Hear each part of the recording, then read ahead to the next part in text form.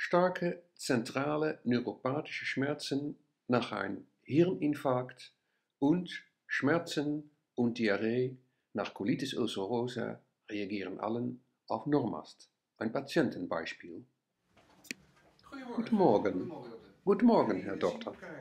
Wir sehen einander jetzt ungefähr fünf Monaten und Sie sind in unser Klinikum gekommen nach einem Hirninfarkt und daraus ist das Syndrom von Wallenberg entstanden mit starken Schmerzen, Problemen mit Spazieren und auch Augenproblemen.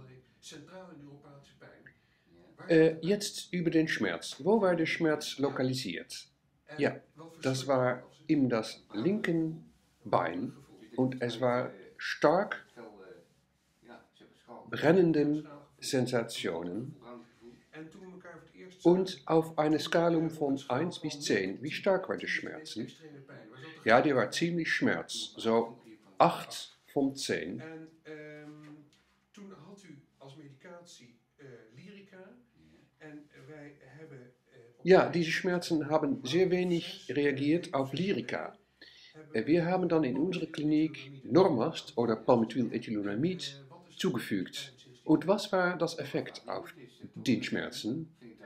Ja, sagt der Patient, die Schmerzen sind deutlich stark vermindert.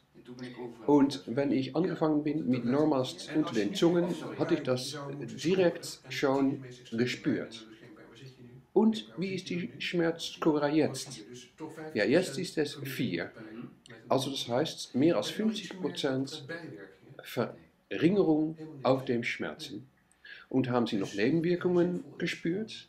Nein, keine. Also, die Schmerzreduktion war deutlich 50%, aber die hatten auch noch eine zweite Erkrankung, nämlich eine Inflammation von den Eingeweiden. Was für Symptome waren das? Also, das war sehr frequent aufs Klo gehen und sehr große Probleme, um den Feces unter Kontrolle zu halten.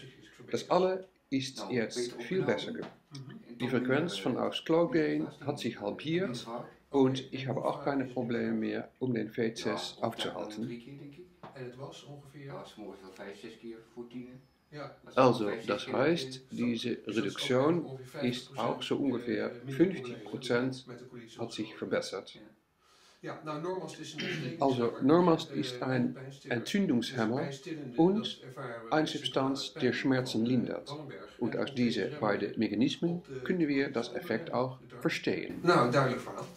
Eine Patientendemonstration aus dem Klinikum für Schmerzen in Holland.